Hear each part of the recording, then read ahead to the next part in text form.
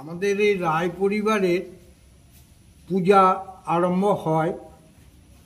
নবমাদি কল্প হিসেবে ধরা হয় এবং আদ্রা নক্ষত্র সংযুক্ত বোধনেশ্বরীর আগমন হয়। তারপর থেকে আমাদের পুজো চলতে থাকে এবং চতুর্থী, ষষ্ঠী, সপ্তমী, অষ্টমী, নবমী, দশমী পর্যন্ত। তো এই মায়ের বাড়ি আনা হয় যমুনা সাইড থেকে। এবং অন্যান্য পাড়ারও আমাদেরই সঙ্গে, একই সঙ্গে বাড়ি আনতে যাওয়া হয়। তো এই পূজা দীর্ঘদিনের অন্ততপক্ষে পাঁচশো পঞ্চান্ন বছর আগেকার। এই পুজোর প্রতিষ্ঠা করে যান একজন সাধক। তখন আমাদের বংশের দুজন মহাপুরুষ ছিলেন, একজন জিতবাহন রায় এবং জিতরাম রায়।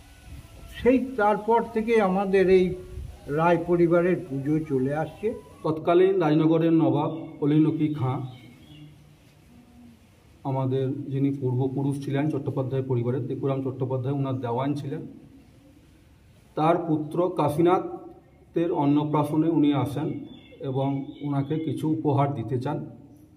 তখন তিনি বলেন যে, আমার নিজের জন্য কিছু চাই না, আমার মা দুর্গা সেবায়তরা যাতে ভালোভাবে পূজাটা চালিয়ে নিয়ে যেতে পারে, তার জন্য কিছু দান করুন। তখন নবাব চৌষট্টি বিঘে নিষ্কর সম্পত্তি, রাহিনা পুষ্করণী ও হালফত মৌজায় আরও সাতটি ছোটো ছোটো পুকুর দান করেন।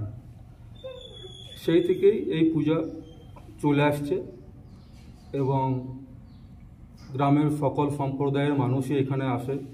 অন্যান্য পরিবারের পুজোর থেকে আমাদের বৈশিষ্ট্য হল বোধনের দিন মানে পুজোর পনেরো দিন আগে থেকে আদ্রা নক্ষত্রযুক্ত কৃষ্ণ নবম নবমীতেই আমাদের পুজো শুরু হয়।